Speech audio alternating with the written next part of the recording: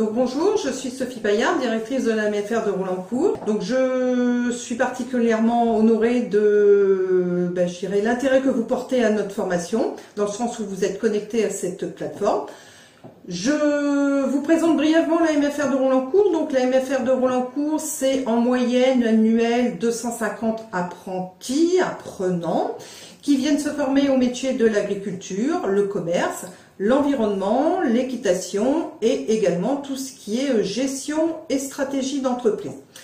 Nous pratiquons la pédagogie de l'alternance. Par définition, l'alternance veut dire j'alterne des périodes en centre de formation ici à l'MFR de Rolandcourt et en entreprise. Ce qui fait que notre pédagogie a un lien direct entre, je dirais, les apports théoriques donnés en salle et les pratiques mises en place sur les lieux de stage.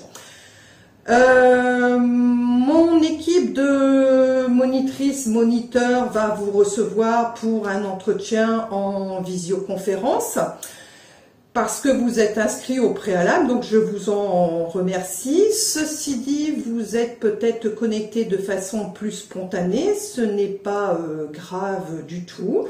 Je vous invite à me contacter par téléphone au numéro qui s'affiche ci-dessous afin de positionner un rendez-vous. Si vous voulez au préalable, vous pouvez consulter une vidéo sur notre site, donc www.rolancourt-formation.fr afin de visualiser euh, le parc extérieur de la MFR de Rolancourt et de visualiser également l'intérieur de nos locaux.